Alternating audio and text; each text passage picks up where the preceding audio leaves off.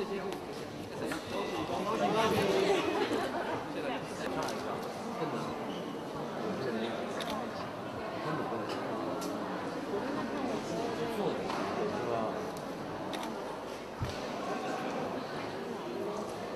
越。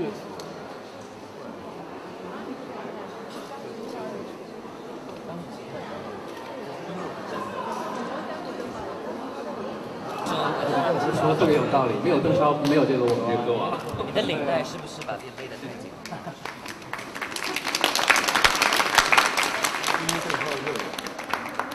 因为这个节目呢，它是一个我们我们做它的初衷就是一个让，就像您所说的，让音乐归零，让所有的这些有着一身好武艺的这些唱将，能够在一个尊重音乐的舞台上，我们把这个规则定下之后，然后我们就要用我们最最棒的歌手和他们身后最棒的音乐家来做这道大戏。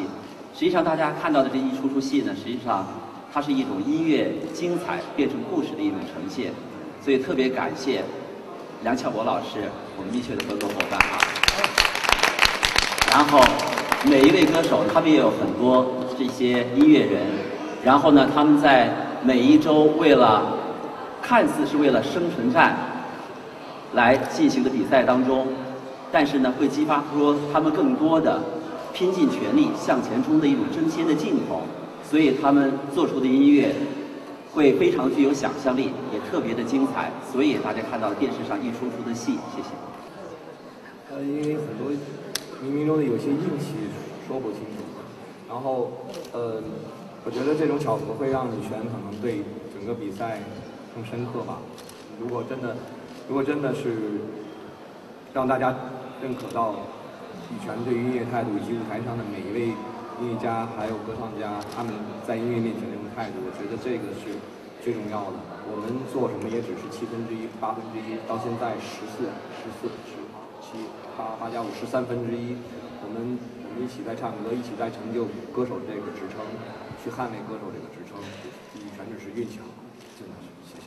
啊，最后就是为什么？其实没有什么为什么。我觉得每一个人付出最大努力，然后包括运气，包括朋友之间的互助，然后当然这个节目可能早已经超越了专业节目那种在社会引爆点的那种影响力，呃之后又衍生出来很多其他的一种关注关注度或者是新闻话题。但是期盼期盼着大家不要关注那些太没用的东西，最重要的是我们是要好音乐，然后找到懂音乐的朋友。谢谢大家，我尽力了，谢谢你们的支持。我谢谢湖南卫视，谢谢红导，谢谢这么精准专业的团队，给我有这个机会站在这个舞台上唱我想要唱的歌。我真的告诉大家，这是一个非常非常棒的真实的节目。我们很快乐的站在台上唱歌，谢谢你们。好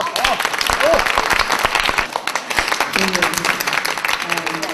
要感谢这个歌坛没有忘记我，感谢红红导千里迢迢追我，然后从第一场到今天，真是真的不容易啊！要感谢这个一直从第一场零粉丝一直到今天，呃，他们一直这样子很默默支持你，还有啊每天说黄妈你怎么样啊？我就很感动。然后我也也是个不太会讲话的人，所以你们要原谅。我要感谢所有我们站在这个舞台，从第一期到最后一期的所有的我们歌手。我要讲，我真的很爱你们。好。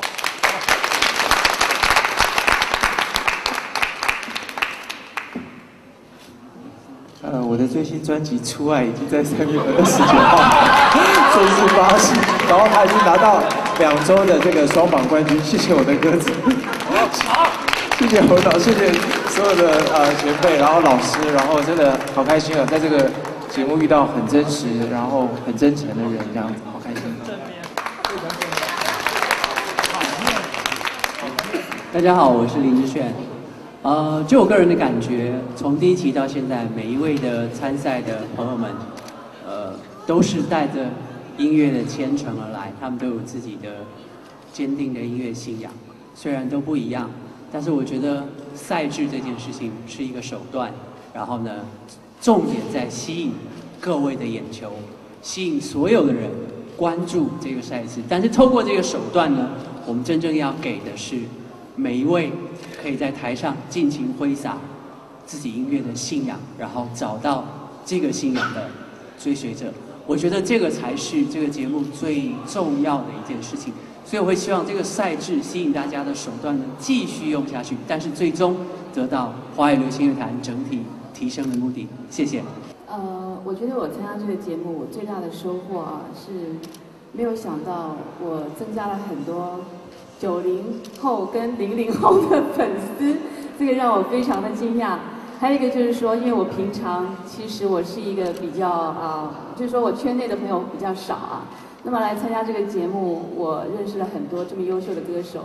我觉得我们这一排的，还有我对面的这一排，我觉得每个歌手都是独一无二的，没有办法比较。在我的心目中，大家都是第一，都非常棒。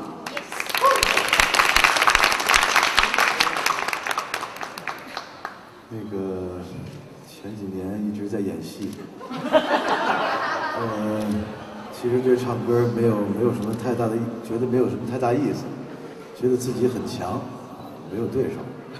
通过来到这个《我是歌手》的这个舞台上，我知道山外有山，人外有人，我还会继续的唱歌。好。